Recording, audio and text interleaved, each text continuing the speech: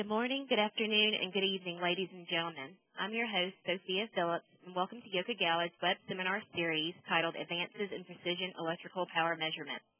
I would like to thank you all for taking the time to attend this webinar. I hope you find this webinar helpful and informative. Before we begin, I would like to go over some housekeeping issues. The audio part of this webinar can be accessed either through the teleconference number provided in the Info tab of your WebEx Manager window or through the PC speakers. To hear the audio through your PC, select the Communicate tab and join the audio broadcast. The webinar will last approximately 30 minutes. For any questions you may have for this webinar, please submit them in the Q&A window or chat window located in the lower right-hand corner of your screen. Our presenter, Bill Gatheridge, will answer all questions via email after the presentation. This webinar will be recorded and available for replaying in archive form under the technical library of our webpage. Everyone will be receiving an email that will take you directly to the recording 24 to 48 hours after this event. We will also have a poll that will appear towards the end of the presentation. Please take a few minutes to complete the poll when it is available. Our presenter for this webinar is Bill Gatheridge, Product Manager at Yokogawa. Bill is responsible for the Power Analyzer product line as well as other measuring instruments. He has over 20 years experience with Yokogawa in the area of precision electrical power measurement. Bill has been running both live and WebEx seminars on various power measurement topics and applications for the past 10 years. Bill has a degree in electrical engineering from Purdue University. Without further ado, I would like to hand it over to Bill. Thank you, Sophia. Hello, everyone. Uh, thank you for joining our uh, webinar today what we plan to do, uh, we've had a few introductions. Um, we're going to introduce some new uh, power measuring uh, instruments and some new solutions uh, to help you with your power measurements and uh, your product development, your product testing. We're going to go over some uh, an industry first new harmonic analysis function and cover some application solutions. Then we'll kind of wrap it up with our conclusion and review of some of our applications. So that's what we got planned. We're going to have a, uh, a, a jam-packed, uh, you know, 30 minutes or so here. Here's Yokogawa Corporation of America. We're located in Newnan, Georgia. This is our facility uh, where we have all of our uh, product support for the test and measurement instruments, our calibration service, as well as other manufacturing uh, support services for other instruments. Where's Newnan, Georgia? You ask, well, we're just a little bit south and west of Atlanta. Everybody knows where Atlanta, Georgia's at. So we come down I-85, Interstate 85, about 25 miles uh, south and uh, to Newnan, Georgia. So that's where we're located today, in Newnan, Georgia. Now that you know us, let's have a little bit of fun, and how about you guys introduce yourself? In the chat box to the right, just type in your first name, and city or state or country uh, where you are right now. Uh, so as an example, just go ahead and start uh, putting that in the chat box. Uh, we have, uh, as an example, Sophia uh, from Newnan, Georgia. Bill, I'm from Newnan, Georgia today. And so just go ahead and just have a little fun, put it in the chat box, and let's see where everybody's from here today. so we've got a couple things starting to come in. We have Jerry that is located in Detroit, Michigan. Maria is from San Francisco, California. We have Eli that's from Israel. John is from Canada. And Mike's from St. Peters, Florida, just to name a few. Thank you everyone for taking the time to join us. Let's get started with our presentation. Okay, thank you everyone. Uh, again, just to have a little fun, now we'll get on with our uh, rest of our webinar. A little bit about Yokogawa and our corporate history. Yokogawa was founded in 1915, and they were the first to produce and sell electric meters in Japan. They opened their uh, our North American operation in 1957. Uh, right now, we have worldwide sales in excess of 4.3 billion dollars. Uh, Yokogawa operates 84 companies worldwide we have over 19,000 employees operating in 33 countries. You see this product up in the left? There's a really a neat uh, 1930s vintage standard AC voltmeter. And they made these voltmeters and uh, ammeters and watt meters and uh, really Uh, I remember seeing some of those the classic wood cases, and uh, there was as much uh, work that went in, I think, to these wood cases as went into the rest of the meter. Uh, today, Yokogawa is the world leader in power measuring instruments. Just to show you a little bit of some of the other things we do, we make the panel and switchboard analog meters. We make the power transducers. A lot of these go into the power utilities. We have multifunction digital meters. Power quality estimates. These are for the people like the plant engineers uh, and other power quality engineers uh, looking for power quality problems. We have what we call our portable instruments. These are the uh, uh, pretty, pretty high accuracy analog meters with the mirrored scale. In our digital oscilloscope line, several of our oscilloscopes include a power analysis function. This is really useful when you're doing board level work, you're probing circuits, uh, looking at uh, components, you can get right down to board level.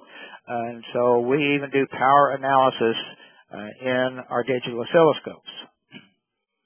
Then, of course, we have our Precision Power Analyzer product line. There's uh, six uh, main uh, products and over 20 product combinations that we can offer you for your uh, measurement uh, solution.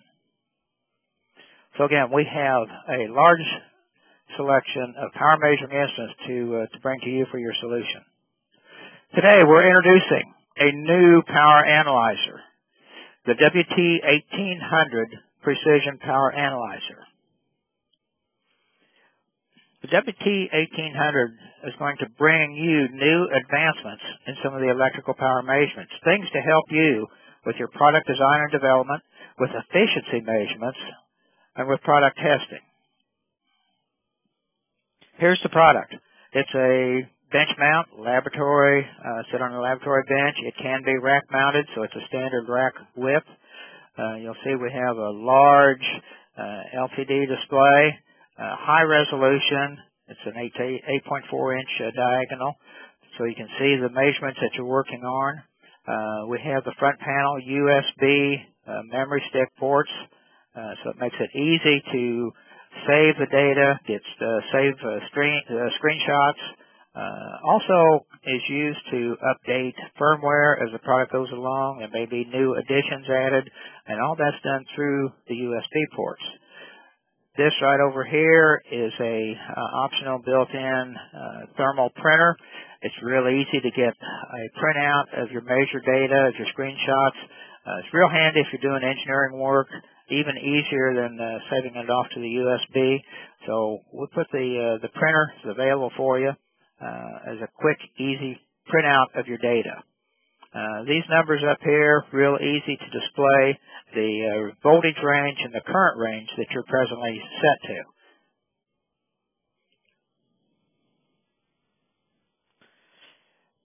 On the input side, on the uh, the back panel, uh, we have from one to six what we call input elements. These are watt meters uh, input element, uh, that's where we bring in uh, the big black terminals. This is the current input.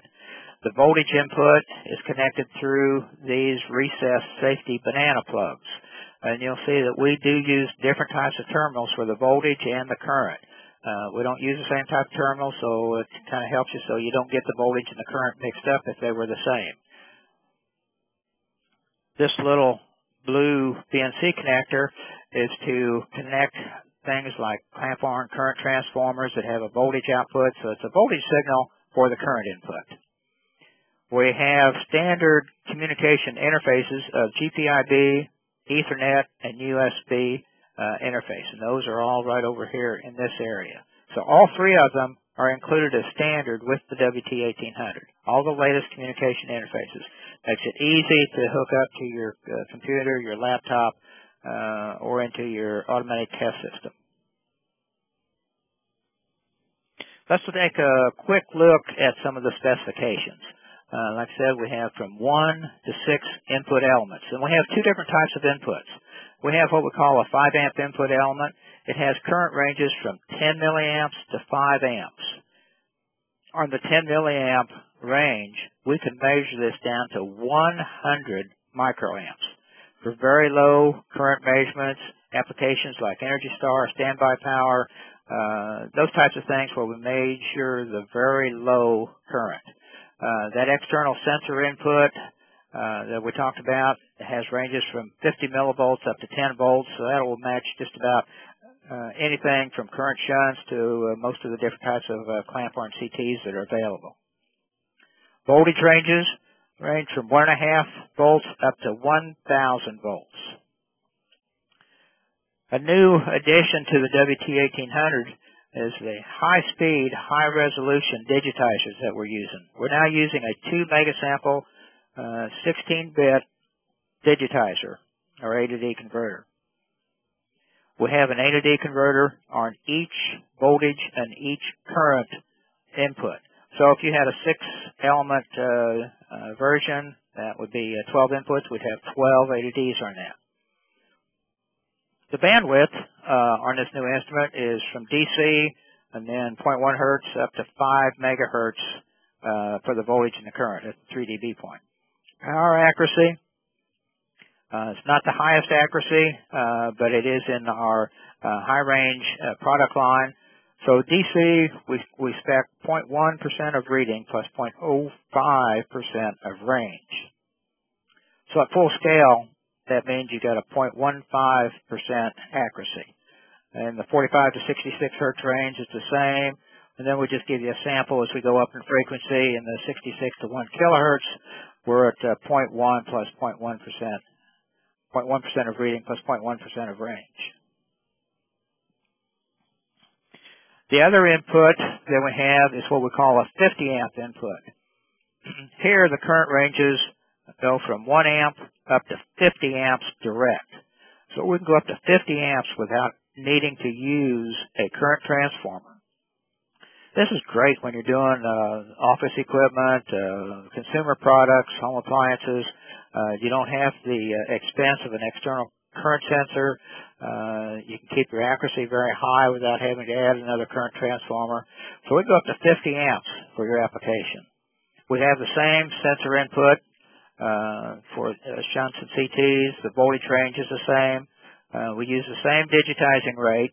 Uh, however, the bandwidth on the 50 amp uh, element uh, goes up to 200 kilohertz. Then we have the same basic accuracy as we had before on, on the low current input amplifier. So to meet your applications, we've got two different types of input elements that we can specify.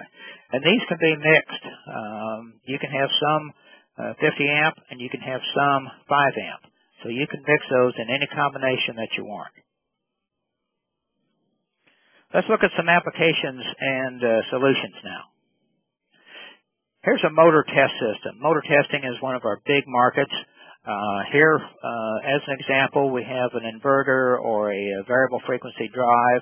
Now, if you're not in motor testing, it could be a similar type device uh, where you have some type of an input and some type of an inverter or a box or something like that, and then an output. But we're just going to show this motor uh, variable frequency drive. And on the drive, it could be a DC or single phase input. We're showing a three phase input here and then the three-phase output going into the motor, and the motor is connected to a, a mechanical load. So we can look at that input signal to the uh, inverter. We can look at the output signal. We have six elements uh, that we're looking at. So we've got three on input, three on output. In addition, you'll see this over here on motor applications. We can provide a speed and torque input. So we can look at the mechanical power. So the idea here is we can look at the input power to your device and the output power to your device all simultaneously.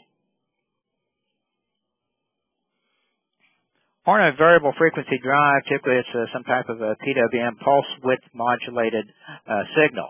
And these are very complex waveforms. They have a lot of high speed uh, switching. They have a lot of noise on the uh, voltage and then on the current. And this is why we need the high-speed, high-resolution digitizers. And that's where our 2 megasample 16-bit digitizers uh, come into play for you. And we offer you a 5 megahertz bandwidth for the voltage and the current to accurately digitize and measure these signals.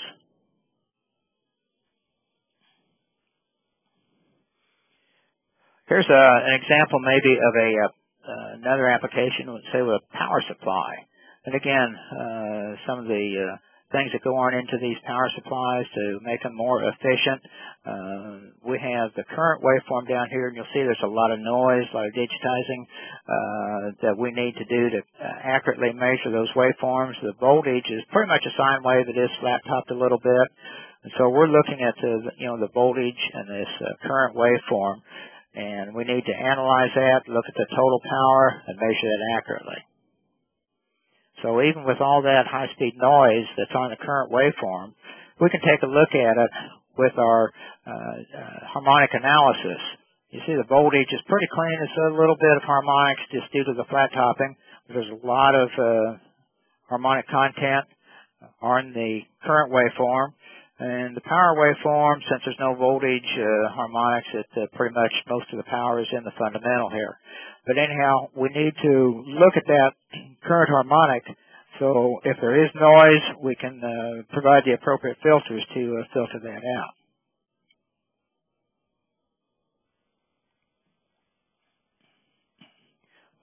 With our harmonic analysis, we can now look at 500 orders of harmonics. And that's on a fundamental frequency from 0.5 hertz on the low end up to 2500 hertz on the high end. That's your fundamental frequency.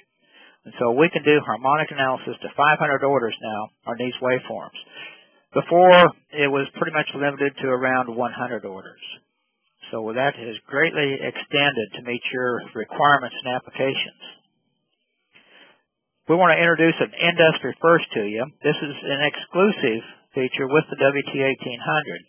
It's what we call the dual harmonic analysis function. Now, we can look simultaneously at two different sources. So a typical application might be the input and the output of an inverter, variable frequency drive, or a lighting ballast, or some other similar type device. This will save you a lot of time and help you a lot with your product development used to be when we could only do one, you would have to look at, uh, say, the output harmonics, then uh, try to look at the input. Maybe they might be uh, operating at the same characteristics. They might not be. Uh, with this, it solves that problem by by being able to look at both the two sources, like an input and output, simultaneously. Here's an example of a harmonic analysis showing 500 orders you can see there's a lot of noise there. Uh, you can almost see the beat frequencies in this particular application, and we can get the whole uh, harmonic spectrum. We can look up here to the digital um, part of it. We can look at the fundamental. We can look at the uh, 100th order. Here's an example of the 500th order. Uh, we're looking at the uh, THD, total harmonic distortion. So gives you the capability of really analyzing these high frequency distorted waveforms.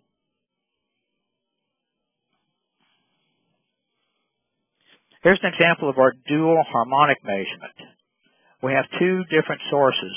Uh, here's voltage uh, 1 and voltage 2. You can see there's a big difference between the two of them and their harmonic content. Uh, so we can do a harmonic analysis on, uh, say, this input side, looking at the total harmonic distortion and the total harmonic distortion on the other side. Simultaneously looking at two harmonic sources. These can be different frequencies, obviously, different fundamental frequencies. Uh, here's where you set them up over here in the menu uh, with your uh, harmonic source on voltage 1. Uh, this is showing from uh, the minimum order of 1 to the maximum order of 100 in this example. Then we pick the channel 2 voltage and do the same thing. So it's very easy to set up your dual harmonic capability. Another function that we've added to the WT1800 is a very comprehensive library of math applications. Uh, these are applications that you guys use in your testing. It's not just about measuring volts and amps and watts. Uh, you have a lot of functions in your industry uh, that require uh, complex uh, math functions that you have to meet. Uh, things like average active power for power that's fluctuating. The simple power loss formula is in there. uh, calculating, this is a good one, the uh, voltage, current, and ripple. So we have a math function to do that, and plus many others. In addition, you can write in your own user-defined math equation to meet your application. So with our library, it's real easy. You just bring this up. Uh, we got, uh, uh, you select which one. This is the uh, average active power. Uh, you just select that, click turn it on, and then click to uh, display that function on the screen. So some of the uh, equations we showed you average active power. We got uh, uh, you know some power loss, some ripple, and you can input your own formula. These formulas uh, will always come back when you initialize the instrument, so you haven't lost them. They have up to 20 math fields that we can work with. So you can put in your own equation here uh, any place that you want, display that, and come back to it. Another function, if you're working in the solar power generation field, is what they call the MPPT, or the Maximum Power Peak Tracking Function. This is a math function that we have, uh, so they're looking for this maximum peak power uh, with the voltage and the current. So that equation is another solution that we've added for you automatically and that you can display on the screen. So an application for solar power uh, generation. Efficiency, you know, our uh, electronic products is all about efficiency uh, anymore.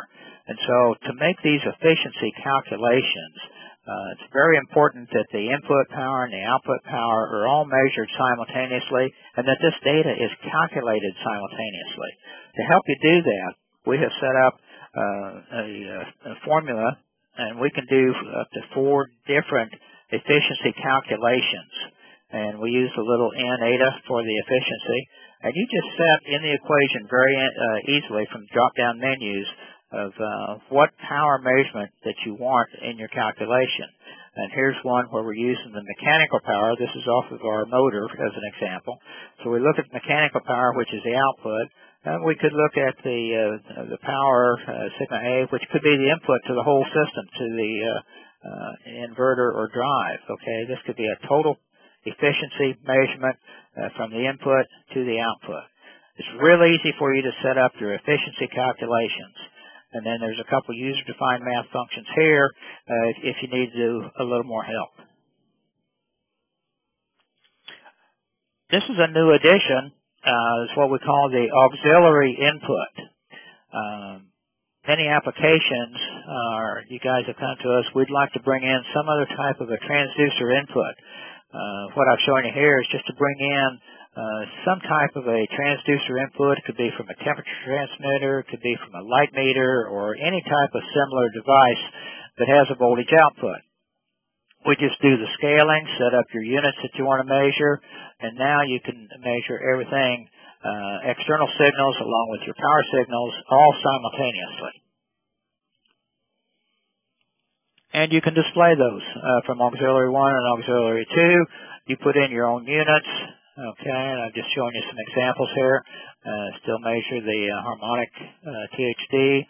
So all this can be done now with the auxiliary input. a new another new function that has been added, and we get people that have asked us uh, to do this, is what we call the user-defined event function.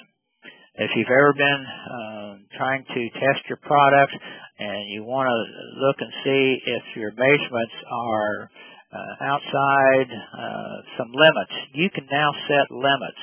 This is an example here where we set a voltage uh, that if the limit exceeds 150 volts or goes below 90 volts, uh, it will trigger and that data can be saved into the memory uh, or put out onto uh, a memory stick, printed out, or something like that. So this event trigger, again, is something that uh, you guys have asked us for, and we've been able to add that to the WT1800 uh, to help you while you're doing your automatic testing. So that way you don't have to go through lots and lots of data to see where your data may have exceeded whatever limits that you had set. So again, looking at our uh, front shot of the WT1800, this uh, this screen again comes from a lot of your input. Um, it's a high resolution uh, display, and it can be configured in many different ways. Here we're showing four items, and these four items I'm just showing volts, amps, watts, and power factor. But this can be configured any way that you want it.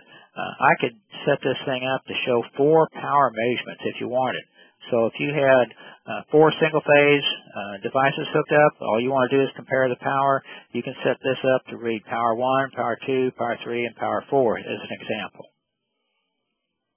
Then we can go to eight items, and again, you can configure uh, these items over here in any way that you want. Uh, we're showing uh, here THD. Remember, the harmonics is all uh, uh, displayed simultaneously with our normal power measurements. You'll see over here we have 1 through 12. You can set up 12 different pages of how you want the data displayed and just recall those at any time. Then we go to 16 items. This is a good way of showing an input versus an output. This could be the input. We're running about 60 hertz. Uh, this could be the output. Uh, looks like this could be on a variable speed motor drive, uh, running kind of slow at 20 hertz. But again, very easy to set up input and output in any configuration that you want. We can go to a matrix uh, matrix display. Show up uh, here. We're showing four of the input elements, and the data that we've selected are on the left-hand side. Again, so you can see all the data the way you want to see it. Here's an example of a harmonics display, and this was set up for a dual harmonics. Now we're looking at the voltage and the current. We're looking at the uh, DC. This is the total RMS value. Uh, the first part of it goes through 20 orders. Then we have a page function. You can page down to your next 20 orders and so on. This is your RMS values, your THD functions for the overall measurements. So real easy to display the harmonics. If you don't like any of those, you can set up your own custom display. And uh, so we have this custom display with the colors that you like and measuring the functions that you need for your application.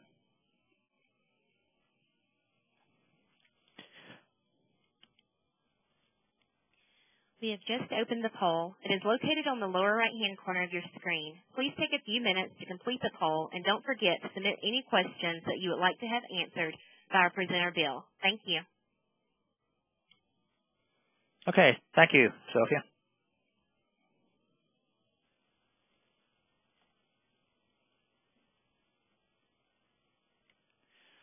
Just looking at some markets, applications, and a few organizations that we work with and uh, your support. Of course, one of our big markets is motors and variable speed drives.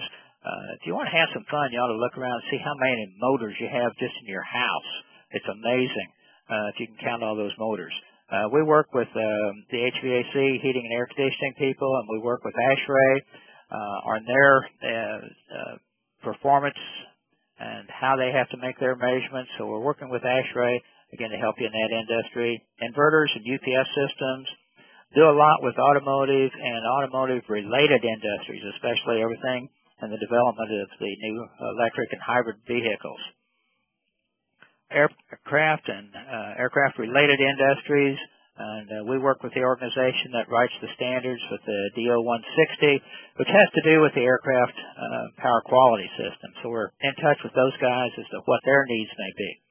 A lot of new things are happening in the solar and uh, wind power, alternative energy areas, and you can see where we have uh, addressed a lot of those measurement functions that you need if you're working in that area. Uh, of course, our conventional lighting and the uh, advancements in LED lighting, just uh, you know, power supplies, batteries and chargers, the data centers. Um, these big data centers that uh, all these servers they're out there in the industry, and we work with uh, one of the organizations that writes their standards for these servers uh, with SPEC again, so we can provide the measurement solutions that they need in these data centers.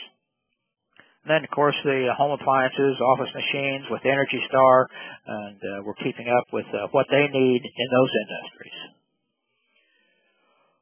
So the value that we bring to you with the new WT1800, uh, first of all, it provides you with high speed, high-resolution digitizers. This is required to characterize these complex waveforms that you're dealing with in uh, today's power conversion products. It's a 2 megasample per second, 16-bit digitizer. We offer you the wide bandwidth, again, to measure these high-frequency signals up to 5 megahertz for voltage and current. Uh, power is measured from DC to 1 megahertz. Uh, to make it convenient, we've added the USB storage ports on the front. Makes it easy to save the data or to save the uh, screenshots. The WT1800 can measure currents as low as 100 microamps. Again, for a lot of these uh, Energy Star standby power applications, and as high as 50 amps directly. We offer you three types of computer interfaces as standard. You get the GPIB, which is the IEEE 488 standard, uh, Ethernet, and USB. New harmonics functions, we can now analyze harmonics up to 500 orders. The industry first dual harmonic measurement function permits you to measure harmonic analysis on two separate sources, two separate frequency sources.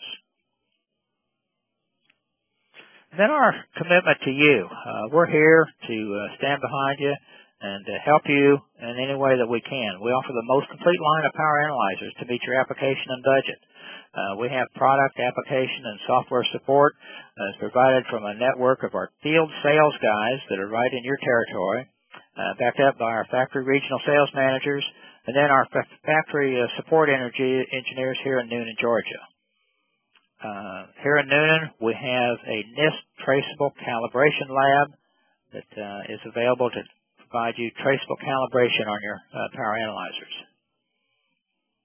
If there's product upgrades that uh, are announced by our factory, we can provide help or the addition of these new options, again, by our factory technicians here in Newnan. If repair service is required, it's again provided by factory trained technicians here in Newnan. Uh, the product would never go back to Japan for service, upgrade, or calibration. And all of our Yokogawa power analyzers are covered by a three-year warranty. We provide educational webinars. You know, we all learn from each other. And so to help that, uh, help you learn, uh, you know, some of this, uh, you know, new techniques and how do I do certain things, uh, we have three power analyzer, uh, power measurement webinars. Uh, we have a basic power measurement, and these are the dates that the new ones are scheduled. March 24th, uh, harmonic analysis uh, will be on April 21st, and then we have a motor analysis uh, webinar on May 19th. In addition, we have many digital oscilloscope webinars. So you can look and uh, register for these webinars at the uh, website yca.webex.com and then go to Event Center from that home page. And you'll see where to, uh, what's being offered and when and how to sign up. In addition, at the upcoming Motors and Drives Conference, um, uh, workshop, we, we are going to be providing a four-hour pre-conference workshop on motor testing. Uh, this will be February 28th in San Antonio, Texas, and you can see more about this by going to their website uh, uh, at edriveonline.com.